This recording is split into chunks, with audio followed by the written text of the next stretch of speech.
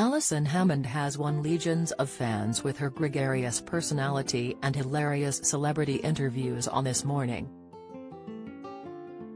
She emerged as a quick show favorite on Big Brother in 2002, and has continued to build on that success with a TV career that has spanned two decades.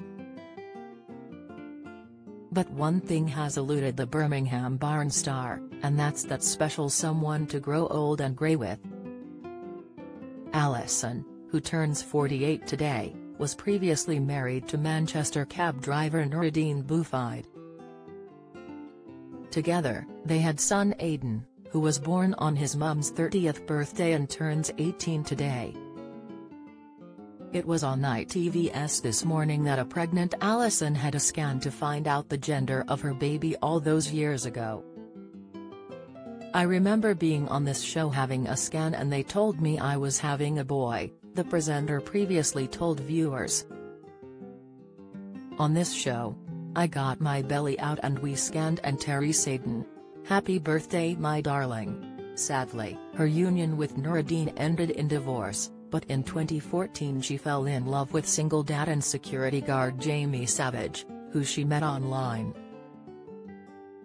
They quickly got engaged but that also wasn't to be and it was with a heavy heart that Alison announced their split three years later admitting that the agony of their heartbreak had put her off finding love again. We split up. It's the worst news ever, she told OK! magazine. It was really recent and I'm a bit gutted about it. You never know, we might get back together, but I'm not feeling it at the minute. I don't think I want anyone else now, I feel really sad. I'm going to have to eat a lot of chocolate to cheer me up. The former cinema worker was briefly involved with audio technician Ben Kusi, who she met on Celebs Go Dating earlier in 2020. And she previously told Woman's Own that she longed to fall in love and tie the knot once more. I would love to get married, I'd love to walk down the aisle in a big, white dress and have the fairy tale wedding, she said.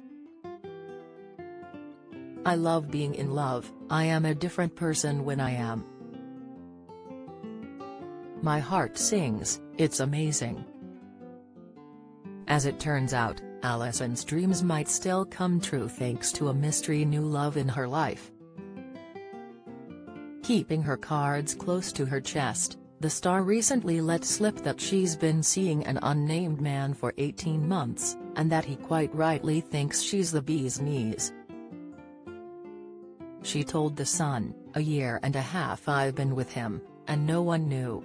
He loves me to bits. He absolutely worships me and massages my feet every single day. What more do you want? What's more, she told ITV stablemate Lorraine that she's finally found that special someone who can make my heart sing, and told how he enriches my life in ways I've never had before. So could another wedding be on the cards? That's certainly what Alison is hoping for. If he wants to pop the question, he can pop away, she told My Weekly magazine.